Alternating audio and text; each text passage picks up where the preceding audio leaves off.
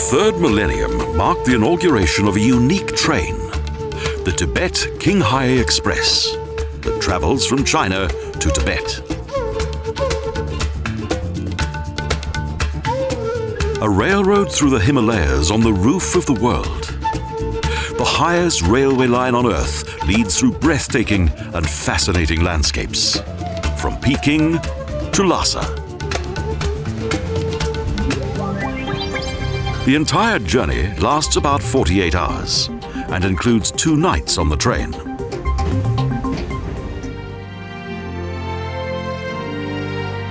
It starts in China's capital city and then passes through the first emperor's city of Xi'an onto Qinghai province, plus Lanzhou, Xining and Golmud.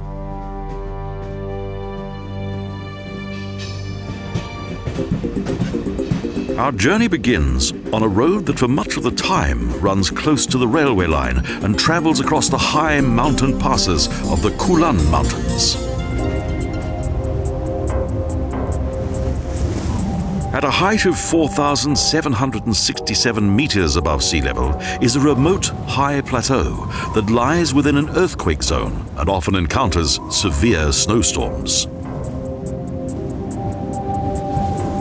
In this extreme habitat, there is a profusion of prayer banners and religious symbols that attract good spirits and frighten off the evil ones.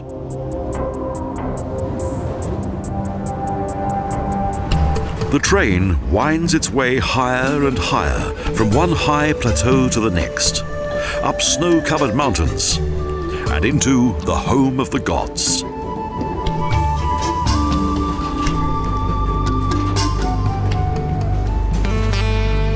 In Golmud in June 2001, construction work began on one of the most spectacular railway lines in the world, of which 80% lies at an altitude of more than 4,000 meters above sea level. Three American General Electric diesel engines pull the train at 11,000 PS safely and securely across the Tibetan High Plateau.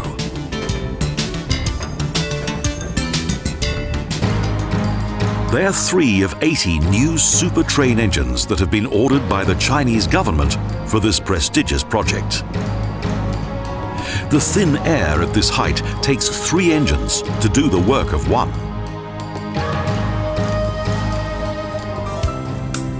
Around 930 passengers occupy the train's 16 carriages that are well furnished throughout.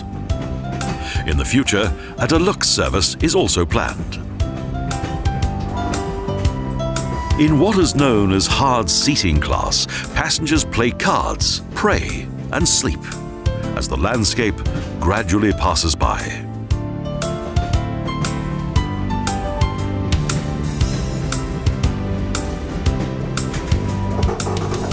Eating is one of the most popular pastimes on the journey, and it's very necessary to make sure that the youngest passengers are kept well entertained.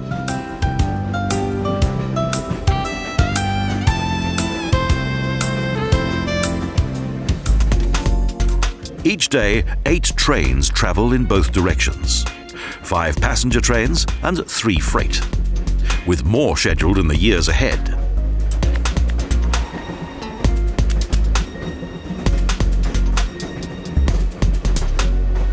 In the train, the thin mountain air goes unnoticed. That's because the carriages are built by Bombardier and therefore have the same comfort value as passenger aircraft. From an altitude of 3,000 meters, the carriages are supplied with oxygen. And if required, each passenger can have their own.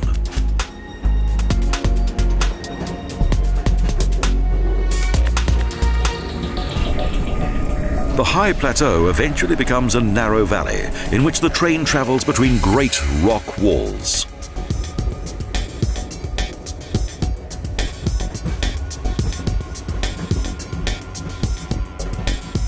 Soon the next high valley appears, and the surrounding mountain range shows off its ice-covered peaks.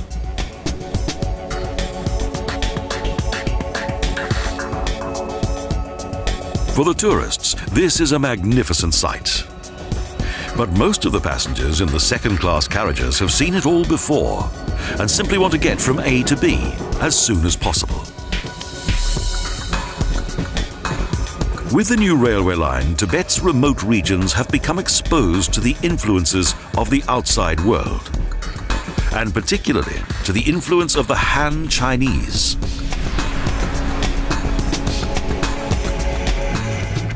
Only a handful of settlements are situated close to the railway line. On the 1st of July 2006, the 85th anniversary of China's Communist Party, the Tibet Line was inaugurated a technical masterpiece. Of the 45 stations between Golmud and Lhasa, 38 are unmanned, as they are equipped with the most modern technology.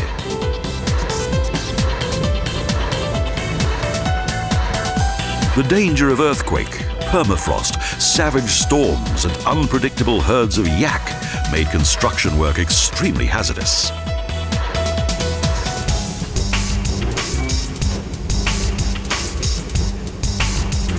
Of the 2,000 kilometre long section, around 550 kilometres of it lie in the various permafrost regions that are negotiated on specially constructed elevated lines.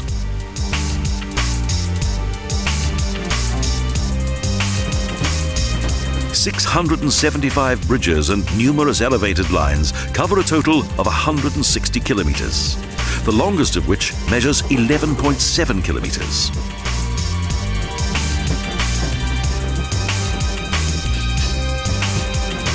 The huge bridge structures have been designed to withstand the harsh conditions, including those in summer when the ice melts and would otherwise submerge the rails in mud.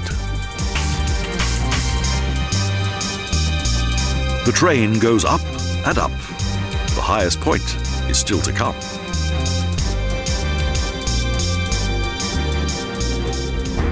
From the windows, passengers soon become aware of the dramatic effects of climate change. Here, the permafrost is starting to melt.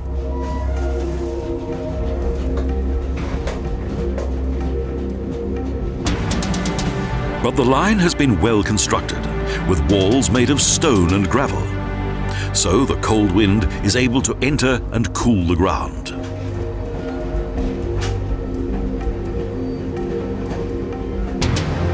Ten thousand cooling sticks filled with ammoniac have also been planted in the ground in order to keep the soil at a constant temperature and prevent further melting of the permafrost.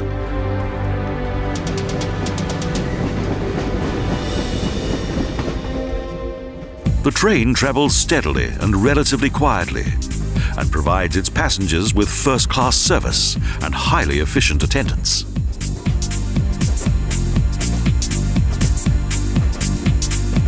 Another high valley narrows into a gorge, a thrilling section of the journey. And outside, the air is becoming thinner and thinner.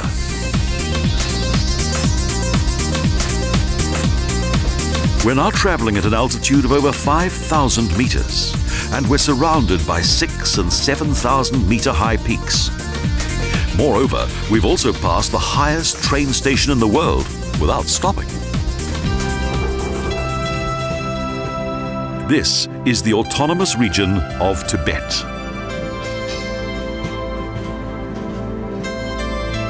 Those who travel in first class can sit in the dining car. Soon we arrive at the center of the sky, the heart of the world.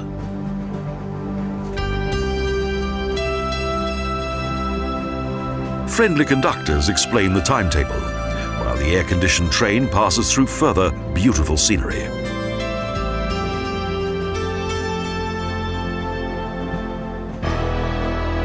We travel through the wonderful Amdu train station, but don't stop.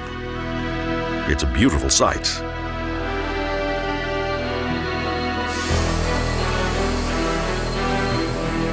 With a population of 35,000, Amdu was a relatively young town that developed as a result of the railroad. It was built by a workforce of 100,000.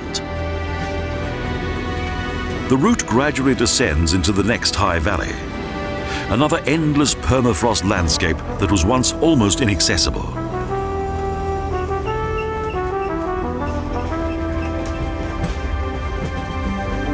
And suddenly, it appears. Nam Tso, Heaven Lake, the second largest and highest saltwater lake in China. 70 kilometers long and 30 wide. The turquoise waters of Heaven Lake reflect the icy peaks of the 7,000 meter high Nianjian Tangla mountain range. And on the banks, Tibetans pray for fertility.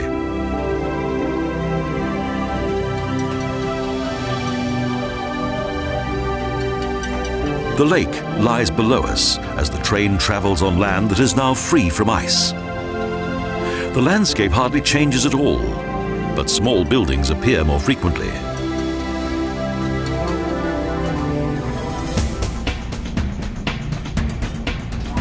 We unexpectedly stop at the small unmanned Diuma station. Following a stop of 90 minutes, we continue on our journey.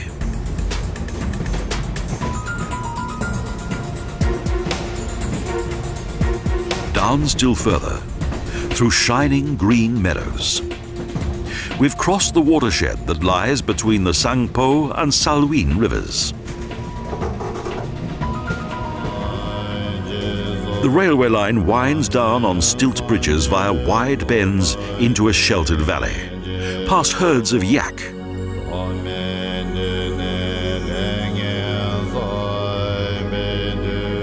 The train slowly approaches the railroad's main town in Tibet. No one has suffered from altitude sickness, and our first contact with Tibet is imminent.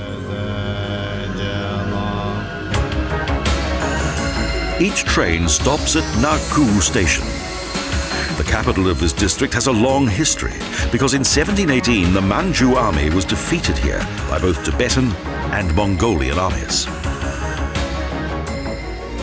This large train station is in stark contrast to the nearby yurt camp that stands outside the town's gates and consists mainly of new districts.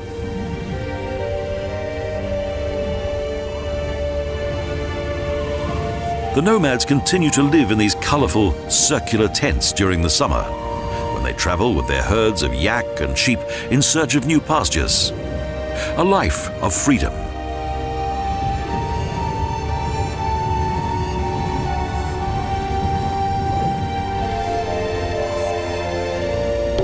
Our journey continues and we're joined by new passengers on this amazing journey. Now only around 300 kilometers separate us from our eventual destination.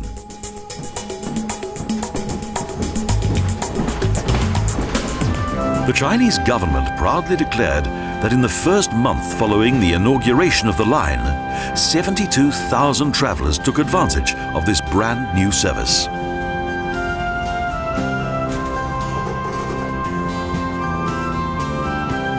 The train crosses fertile green landscape, endless pastures for herds of yak and sheep, at an altitude of 4,000 meters above sea level.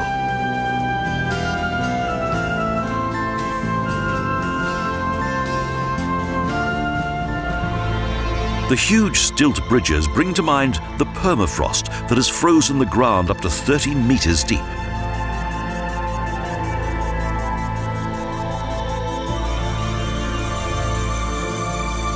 This factor presented an enormous challenge to the creators of the railroad.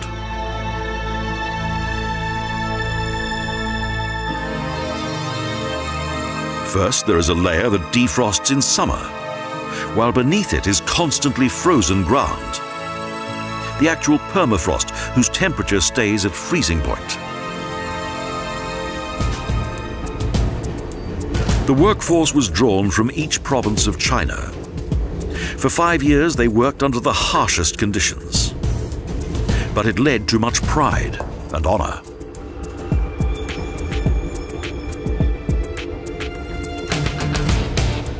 Along with the Great Wall of China and the Three Gorges Dam, the Tibet Railroad is one of China's greatest structures, a monumental achievement.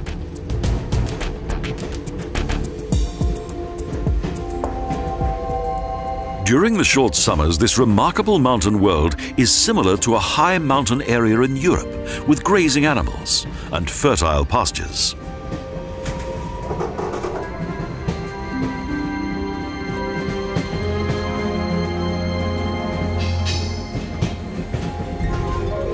The green mountain slopes reach to the plains, and the stilt route was laid out in a large bow in order to exert less pressure on the sensitive land.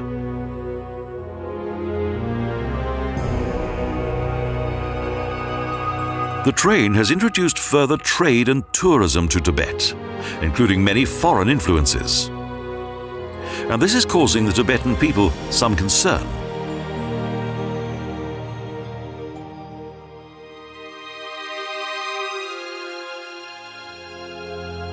This mysterious land of snow was once only accessible by way of three extremely bumpy roads. And the local people were supplied with lorries.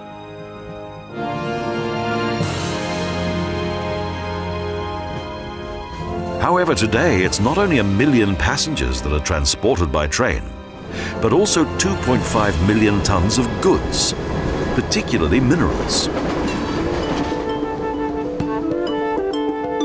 For the few remaining nomads, little has changed. They continue to roam with their animals and tents across the immense plains.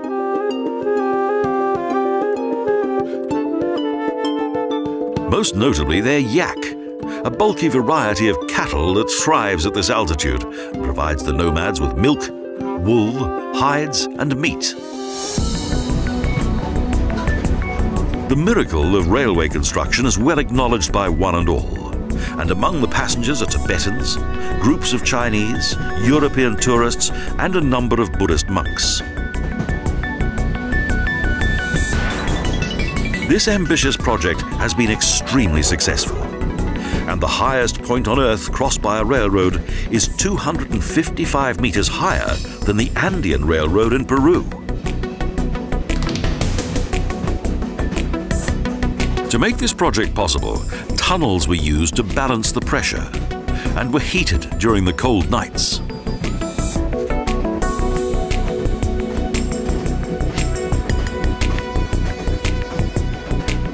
The trains also travel at the highest speeds that are possible on permafrost, 100 kilometers an hour and up to 120.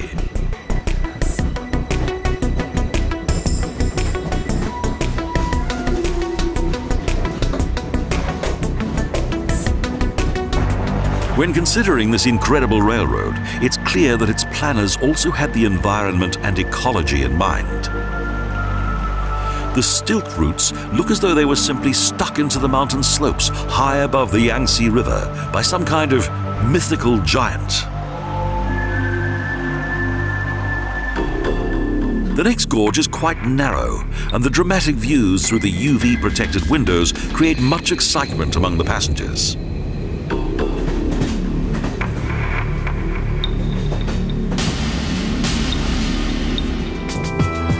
The struggle against the harsh landscape was won with much effort and has now allowed this train to serenely make its way through the valleys and gorges situated in this the final leg of the journey.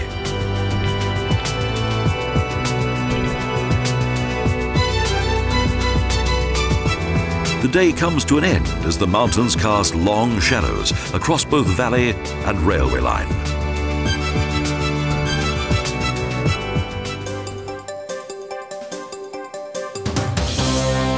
After the last large bridge over the Kichu, the Happy River, we've now almost reached our final destination.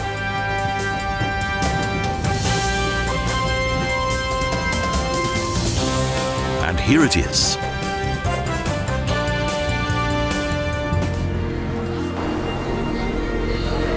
Tired but content, passengers alight from the train. Spacious platforms make it easy to negotiate the station.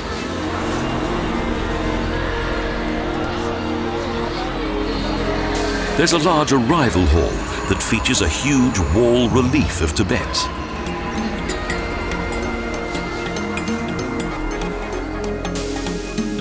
The new arrivals walk across a huge square that is contained within the huge building.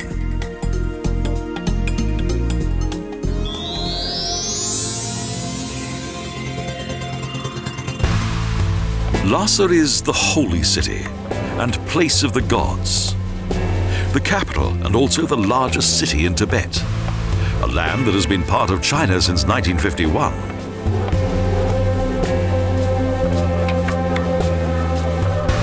Those who visit the city soon encounter the sacred Barkhor Road that is used both as a marketplace as well as a meeting point for young and old alike.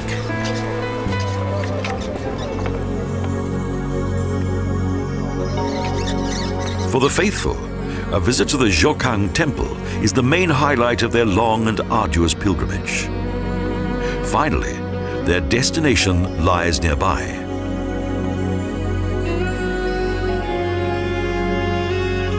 On various special days of the year, a visit to the temple is a must. The pilgrims must wait for several hours outside the gates of the sanctuary. Inside, they worship the abandoned throne of the Dalai Lama. The temple is still a national sanctuary and a living center of Buddhism in Tibet.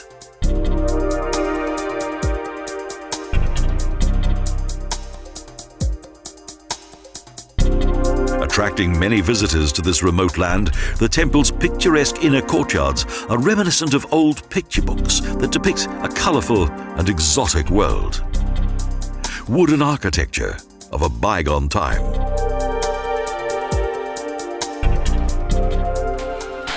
In the north of the old town is another important temple, Ramoche, built in the 7th century, destroyed by fire on several occasions, and each time rebuilt. This ancient place of culture contains the academy of the esoteric Gelugpa set, and from the roof the palace mountain seems to be very near. Close by is a nunnery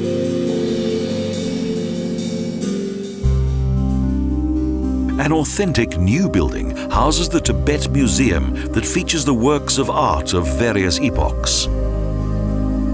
From prehistoric times until the time of the kings, when the 33rd king of Tibet, Songtsen Gampo, relocated his residence here from the Yarlung Valley. Chinese immigrants introduced their way of life to this once isolated mountain world including the traditional Tian Hai night market that is now part of everyday life here. Opposite to the Potala and clinging to a rock wall is a small and ancient cave sanctuary, Palhalupuk Temple.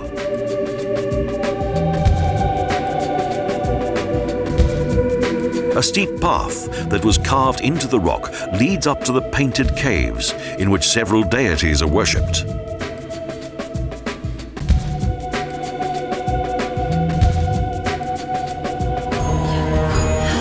Show theatre features age-old traditions in a revue.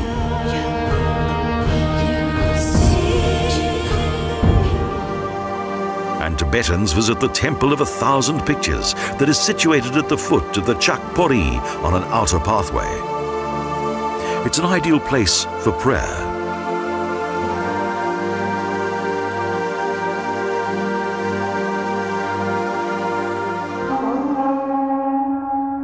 mighty and towering above Potala, one of the most extraordinary palaces in Asia.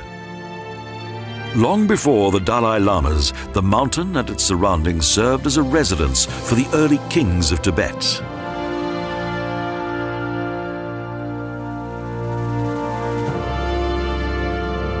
Potala is a symbol of the worldly and spiritual power that the 14 Dalai Lamas have possessed for many centuries. The city of the gods on the roof of the world continues to be one of the last mysterious locations on this planet. The train station is a new feature. Mystically illuminated, it looks like a Potala of the present day. The arrivals and departures board.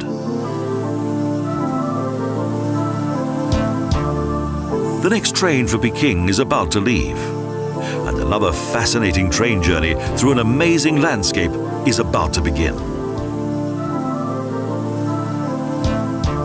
When the Tibet Qinghai Express will turn yet more dreams into reality.